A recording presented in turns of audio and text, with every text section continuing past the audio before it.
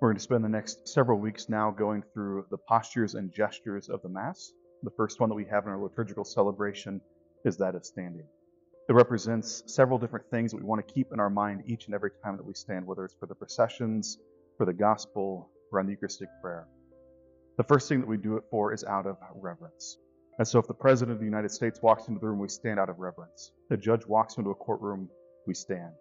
And so when we're standing at Mass, we're doing it out of reverence for the action of our Lord, whether it's in the procession of the priest who is representing Christ, or Christ working through the Eucharistic prayer, the proclamation of the gospel.